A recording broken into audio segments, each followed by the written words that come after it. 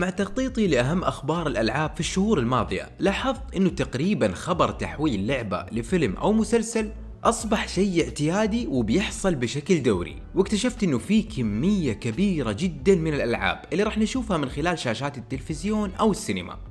وبالرغم من إنه عادة هذه التحولات ما تكون بالطريقة اللي ترضي محبين الألعاب بسبب التغيرات الكبيرة اللي تحصل على القصة والشخصيات وعدم الالتزام بالمصادر الرئيسية. لكن النجاح المادي لهذه الأفلام خصوصا في الفترة الأخيرة الظاهر رجع انتباه المنتجين تجاه تحويل الألعاب لأفلام. مثل فيلم Sonic واللي حقق عوائد تجاوزت ال 300 مليون دولار وبسببها جزء ثاني من الفيلم شيء مؤكد.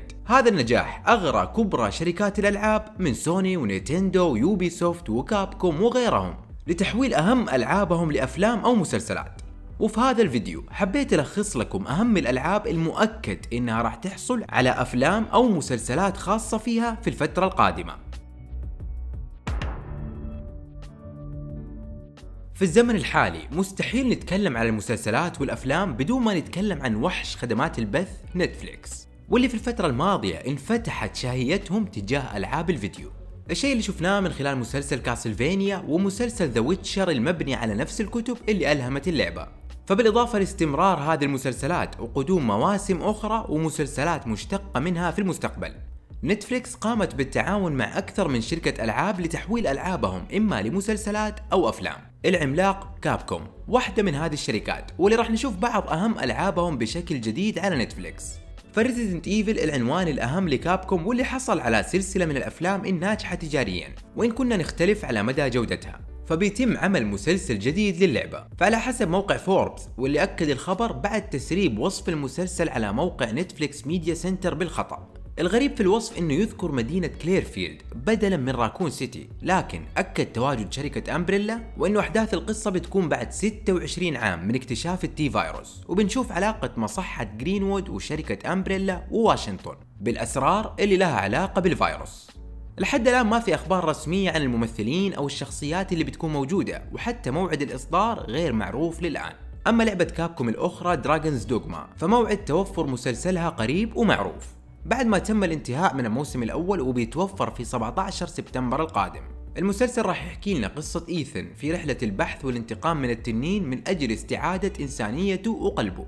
أما سلسلة Devil May Cry الشهيرة فاللي نعرفه انه حقوق مسلسلها القادم تم شراؤه من قبل آدي شانكار المنتج اللي قدم مسلسل Castlevania على Netflix. وصرح إنه قام بهذا الشيء عشان لا يتم تخريب العمل من قبل هوليوود. وتحدث عن إمكانية ربط عالم مسلسل Devil May Cry بعالم مسلسل Castlevania وغالبا بتكون Netflix هي المنصة اللي راح يتم عرض مسلسل Devil May Cry عليها. Capcom ما هي الشركة الوحيدة اللي شغالين مع Netflix ف Ubisoft أيضا في الأيام الماضية أعلنوا إنه اثنين من عناوينهم بتتوجه لمنصة البث. الإعلان الأول كان عن مسلسل أنمي لسلسلة التسلل والتخفي Splinter Cell المبنية على روايات توم كلانسي. بعد تأكيد العمل على المشروع وإنه بيكون من كتابة ديريك جولستاد المسؤول عن كتابة John Wick وبيكون مبدئيا من موسمين تتضمن 16 حلقة. يذكر إنه لعبة توم كلانسي الأخرى The Division أيضا قامت Netflix بشراء حقوق تحويلها لفيلم. الكلام هذا حصل العام الماضي ومن المفترض إنه بيكون من بطولة جيك جيلنهال وجيسيكا تشيستين.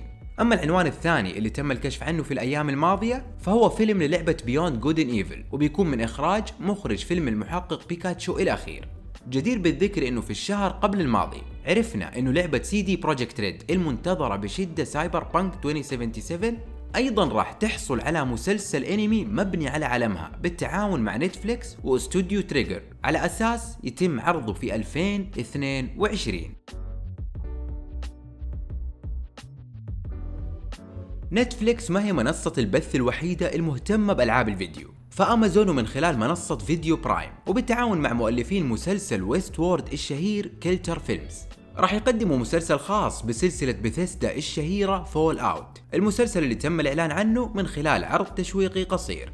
ومن خلال بيان رسمي على موقع بثيسدا أكدوا المؤلفين للعمل على عالم Fallout المدمر إنهم جدا متحمسين لتقديم عالم ما بعد الحروب النووية القاسية للشاشة الفضية. طبعا الكثير متخوف إنه يتم تغيير الكثير من الأشياء من قصة اللعبة الأصلية وعالمها وتاريخها الغزير. المسلسل حاليا في مراحل الإنتاج المبكرة وما في موعد إصدار حتى الآن.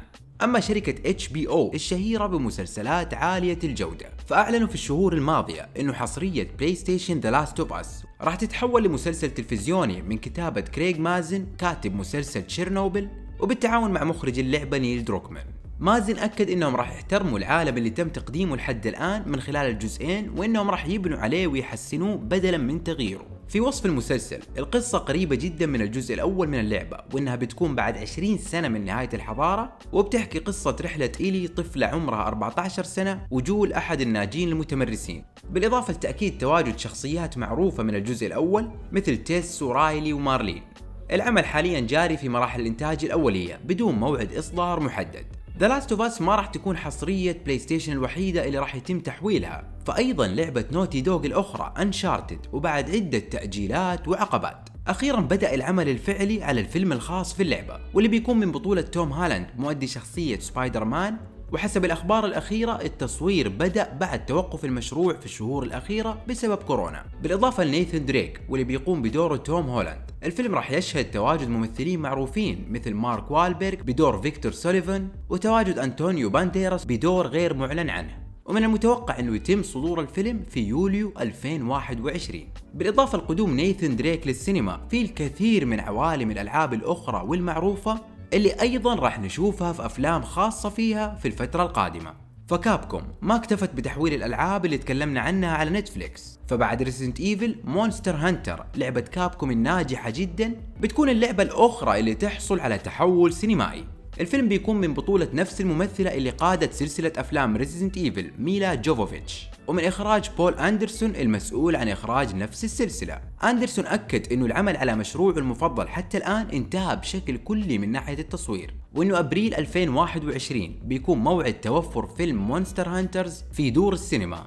Ubisoft أيضا ما راح نشوف ألعابها فقط على نتفليكس فلعبة Tom Clancy الأخرى Rainbow 6 Siege راح تتحول لسلسلة أفلام سينمائية واللي ناوية Paramount Pictures إنها تفتتح سلسلة الأفلام الخاصة فيها من خلال Without Remorse. الفيلم بيكون من بطولة مايكل بي جوردن اللي شفناه في Black Panther و Creed ويحكي قصة القائد جون كلارك أحد أهم شخصيات السلسلة متبوع بجزء آخر بعنوان Rainbow 6 Without Remorse من المفترض إنه يتم عرضه في سبتمبر القادم.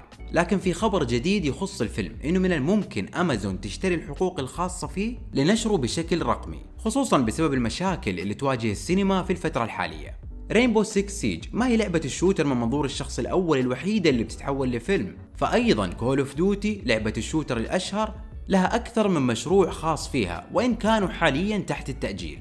للعبة ال shooter الأخرى Borderlands واللي جاري العمل عليها من قبل المخرج إيلي روث والظاهر راح تحترم قصة العالم الأصلية الجنونية وشخصيات صائدي الخزانات الممتعة مع تأكيد تواجد كيت بلانشيت للقيام بشخصية ليليث. حتى ال Master Chief ولعبة Halo المفترض بحلول ربيع 2021 نشوف مسلسل خاص فيه على Showtime. مثل ما أنتم شايفين تقريبا أكبر الشركات في عالم الألعاب ناوية تجرب حظها في عالم السينما والمسلسلات.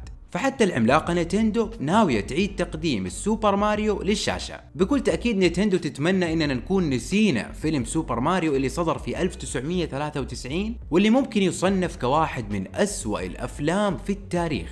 لكن اللي خلينا نطمن هذه المرة هو إنه الأسطورة شيجيرو مياموتو بيشرف على مشروع ال animation الخاص بواحد من أهم الشخصيات في عالم ألعاب الفيديو. ومن المفترض صدور فيلم السوبر ماريو في 2022 فيلم Mortal Kombat واللي أيضا صدر في التسعينات والمبني على أشهر لعبة قتال ما قدر يعجب أغلب المشاهدين. ولهذا السبب أيضا راح يحصل على فيلم جديد في محاولة لتقديمه بطريقة أفضل. مراحل إنتاج الفيلم انتهت من العام الماضي ومتوقع إنه يتم نشره في الموعد المحدد على يناير 2021 أما الفيلم الأخير الموجود معانا في الفيديو فهو الفيلم الخاص بماينكرافت وبيكون فيلم animation وراح يصدر في دور السينما في 2022 بالإضافة لكل هذه الألعاب والقائمة الطويلة اللي راح نشوفها في مسلسلات أو أفلام. في غيرها الكثير من المشاريع المؤكدة وأخرى لحد الآن ما تم تأكيدها. لكن في المجمل تعتبر هذه العناوين هي الأهم اللي نعرف عنها حاليا. أتمنى تكونوا استمتعتوا في المشاهدة واذكرون لنا في التعليقات إيش العنوان اللي متحمسين له وتتوقعوا نجاحه كفيلم أو مسلسل. والعنوان اللي تتوقعوا إنه يخيب أملنا. أما لمشاهدة المزيد من المقاطع المختلفة والمتعلقة بعالم ألعاب الفيديو اشتراك وجرس وخذ لفة على باقي فيديوهات بلاير 1 وكالعادة شكرا على المشاهدة.